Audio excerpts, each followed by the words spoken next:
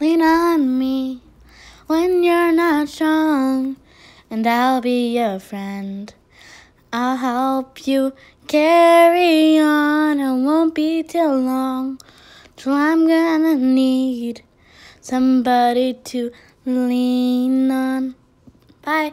Have a Merry Christmas. Hopefully, I can see you soon. Bye bye. Oh, and lean on somebody to have a Merry Christmas. Bye.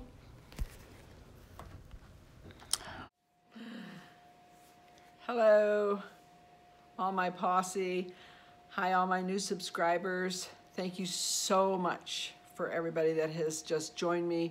And thank you, of course, to my posse who's been with me from the beginning. And I hope that you, uh, you enjoy my channel and uh, everything I have to say. So, but today, come and have some tea with me. Today I've got some green tea and um, I'm gonna chat with you a little bit about Christmas stress and the anxieties that go with this holiday season. And I was thinking this morning because I was trying to get a list together of presents that I had to get from everybody. And it brought back like a lot of memories for me um, back in the days when I was a single mom and money was hard to come by and two little kids who needed stuff, who wanted stuff because their friends had it. And, uh, you know, it Christmas can be a very, very happy time. And for some, it can be a very stressful and sad time because we want to give. Christmas is a time of giving, a time of, of joy, a time of seeing kids' happy face. Uh, it's just that kind of a season. And know, sometimes, you know, like myself, I didn't have a lot of money. I was a struggling uh, hairdresser uh, who, who had a husband at the time who flew the coop, and I had no child support. I had nothing. I had um, a mom and dad who helped, but I think the one that helped me the most uh, was my dad's brother, who was my Uncle Pete. Um, may his soul rest in peace, because he, Uncle Pete, was the kind of an uncle, never married, never had kids, but he was always there for me and my kids. I mean, he always made sure that they had winter coats and winter boots, and I was taken care of with my needs, and there was always gifts under the tree if I couldn't afford them, and a lot of times, you know, I, I couldn't. I mean, it was, I don't know back then what I would have done with the stress of today with Xbox Ones and games and controllers and things that kids are in, I don't want to say they're demanding, but as parents, um, you feel the need that to hear their demands because Joey's got it or Calvin's got it and why can't I get it, you know? Maybe we did that to our kids. I, I don't know. But you know what I th I think sometimes, and I feel so bad for parents. I, I don't know the financial status of any of you YouTubers, any of my posse, any of my new subscribers. You know, some people on here seem to be, you know, quite wealthy. Um, I am, I'm not quite wealthy at all. I'm retired now, so we're not wealthy. Um, and growing up, I was never, I, I, I couldn't even tell you that the, the gifts that I got at Christmas time growing up, which weren't many, I think I got a Toni doll. If some of you are my age that remember the Toni doll. And I don't even really remember actually getting that as a present. I only remember it because my dad snapped a picture of me holding it and it's still in my baby album. So I know I got it. But what I do remember are traditions and family get-togethers and fun and laughter. And I came from a really singing family. My dad and mom were on stage in Pittsburgh, and my mother was called the Sunshine Girl, and she sang, and my dad played the guitar, and all my family sang. My sister sang, and my my brother-in-law um, was a great singer. And I remember just getting together with traditions and and having that kind of fun as as a family, and that is what I remember most. And um, I feel really bad for some of you who are struggling out there with working so hard and working two jobs. I mean, two jobs in my day were unheard of. It was just the man running the household. Women didn't work, you know. Today it's like women don't work. Like when I first went to work, I just went to work because I just felt I wanted to go to work. I didn't really have to go to work when I got married the second time, that is. Um, but today it's almost like you have to work. You have bills to pay. You have so many things that you have to take care of today to work. And then Christmas comes. And then the stress and the anxiety and did I get my kids enough? Uh, uh, the kids at school going to make fun of them. Now, some of you might be sitting there going, what, is she crazy? Well, that doesn't happen. It happens. It happens because I, I remember even my kids back in the day coming home and saying, so and so got this for Christmas and I didn't get that. And I just remember as a mom, you know, heartbroken that I felt like a failure as a mom. So, so not true. What, what, kids really don't care. And you know, I remember once when my oldest son, he was 16 years old and we had taken him out to dinner and we were all sitting around the table and he got up and he saluted us and he said, I want to toast and thank my mom and dad, who was his stepdad, of course, my husband now. And he said, for always being there. And he says, no matter what the circumstances, you were always at my school functions, you were always at my games, you were always where you should have been. Unlike my friend, who his mother would give him $10 if she didn't have to go to his concert. And I used to say, who does that? But there are people that do.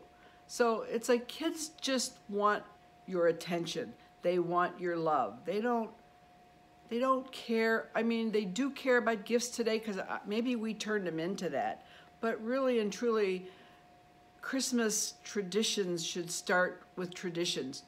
If if you don't have any now, if because you're too busy, you're working two two jobs or you're working too hard to pay for all the Under Armour gear that your kids have to have, or you're so busy you know, making sure that they look good and you're so busy making sure that they keep up with the Joneses. And I'm sorry if any of my subscribers are Joneses, but that's just an old saying.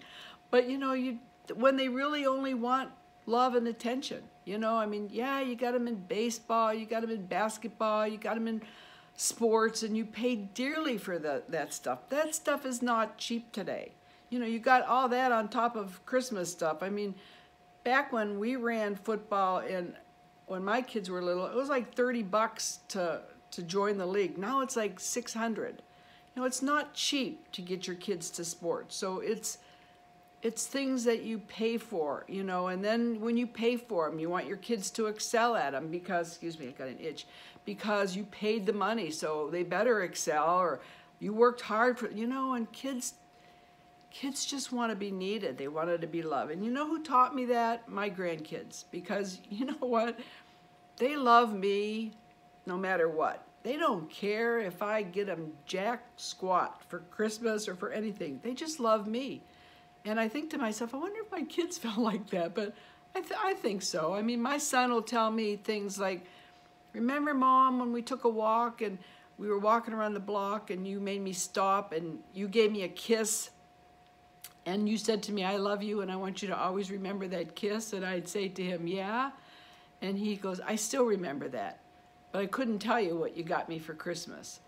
And I think some of that stuff never changes. And, and you know, I just think you need to, you know, take a step back a little bit and, and, and I know it's hard when you want to give so much to your kids, but the stress of it, you know, buying in November and December is one thing, but paying for it in January and February is traumatic. It causes stress in the family, it causes stress between you and your husband. Sometimes you get angry at your kids and you don't know why, but you're just so stressed out. And then you see those toys that you spent, you know, $200 for thrown on the floor and half of them are broken. And then it's like, oh, I paid all that money for this stuff and look, you don't even take care of your stuff. You know, we've all been through it you know, and it's just a really bad time of year for some. And and I you need to just kind of step back, you know, give yourself a timeout in in the room and and figure out what was important to you as a kid. The same thing that was important to you as a kid is is what is important to your kids or your grandkids today. Make a tradition. make a memory. I, you, you see me cooking in the kitchen with Bella. Bella tells me all the time, oh, Nana, we're making so many memories. That's what Christmas is all about. That's what they remember when they're older. I don't think any of your kids, if you would ask them five days after Christmas, what did you get for Christmas? They got not a clue. They don't have a clue what they got. But what they do remember are the family functions, the time that you you give them. Everybody's so busy, so wrapped up, so Christmas parties, looking this way, looking that way, going to functions, cooking for, you know, your family, which is fine if you if you got a tradition going and you know, I just remember my family, I'm Italian and I mean, we had just this Italian tradition. We had my mom put out a spread of, you know, uh, like capicola, it was Italian ham, ricotta cheese, uh, you know, uh, caponata, which is this jar of Italian greasy eggplants and things, and, and Italian olives and Italian bread. And my sister would make a roast, and my brother-in-law would cut it really perfectly thin, and, and just black olives, and if I didn't say that already, and just breaded steak and breaded cauliflower, and just always on the table at, at Christmas Eve time. It was just a tradition. That's what I remember is the traditions that my family did. That's that's the important thing. That's the loving thing that I take with me at this age. And if I ask my grandkids what they remember, they'll come up with things like, oh, remember when we made candy and remember that Christmas when we made all these cookies or remember when we did, that's, what, that's what's important. Don't beat yourself up because you don't have the money. We're not all rich. It isn't, it isn't what you give. You, sometimes I think it makes you feel good as a parent. It gives you a sense of pride, like I worked, I can afford this for my kids. They don't care. You know, if you can afford even to take them on a little vacation, take them to a splash park for a weekend, that's their Christmas gift. Give them 25 single dollars each. Say, here you go, have some fun. That's what they're going to remember your love and your attention. I mean, my Bella, you know, is nine. My Hayden's uh, 11. My Hayden is taller than me. I still put them on my lap and rock them and tell them how much I love them. And that, and, and I think, but, and they love it. And it's like in, enjoyable. That's, that's what life, that's what kids need. And I feel so bad because I talked to my friend the other day who was crying on the phone to me because I can't afford this. He wants this Xbox controller and it's like $80 and he wants this. And I go, he wants or you actually feel the need to get him that? If you can't afford it, oh, I can't, all the kids will ridicule him at school. Isn't that awful? I mean, it's a stressful time of year, guys, and, and you should make it enjoyable. Start a tradition. Start a tradition with your families. Get off your phones. You know, I can't remember when we were young, after we ate, our families all got together. We didn't, well, we didn't have phones. We sat around and we sang. We sang songs. We, I grew up with Frank Sinatra, Dean Martin, Perry Como, uh, the Four Freshmen, if any of you remembered, uh, a group called the Hi-Lo's. I mean, we just sat around and sang and Daddy played the guitar. And those are the things that I hold dear. And, and for nothing else, this holiday season, I wish you peace and I wish you happiness. I wish you love. I wish you a family time that you can cherish and that, that you remember. And, you know, don't sweat the, the money stuff. If, if you're, if you're struggling, and sometimes if you just tell your kids, you know, like I'm a little tight this year. And I told my grandkids, I said, you know, I'm tight this year. So I'm not gonna, I'm not gonna go overboard this year. And I have done overboard stuff in my day because, you know, I, I said when I was divorced, I was a single mom. My kids got very little. I think I tried to make up for it when I got married the second time because my husband was generous to a fault. And I have gone a little overboard, and, and that's kind of sad. And there's been times when in January came, I thought, how am I going to pay for this? You know, oh my God. So, but, you know, for all of you who are struggling, we're not all rich. We don't all have that wealth, but what you do have is you have a heart. And if you have children, I know beyond a shadow of a doubt that you love them and you would lay down your life for them. They don't care if you lay down a $10 bill for them. They just want to know that you care about them. And you can do that in so many other ways. Start a start your own tradition. Start something that's fun. Start just make make a pact that this is the way it's going to be. I mean, do something fun and don't sweat the small stuff and try not to stress at this Christmas time. I know it's a hard time for some of you. I know it's a fun time for some of you. I know it's an easy time for some of you. It depends on where your status is, I guess, uh, today. But just be happy, enjoy life, start a tradition that you you know that your kids will remember. You may think that they may not enjoy it, when they're older, they're going to remember those times. And they're going to remember the times spent with you as a parent. Children are a product of their environment. My husband always says that. If you're stressed, they're stressed. If you're mad, they're mad. If you're sad, they're sad. So be happy. Give them love. Give them the attention that they need. Attention doesn't mean, you know, everything that they desire that they get. That's not going to make them love you anymore. Trust me. I, I know that for a fact. Uh, just be you and enjoy this holiday season. Enjoy, you know, your religious beliefs, no matter what they are, because that is the true meaning of Christmas. And to all of you, I wish you a very, very happy holiday, a blessed holiday, healthy, and remember, money doesn't buy happiness, it only buys choices. Be happy. I love you guys. Thank you so much. And cheers to this Christmas. See you soon.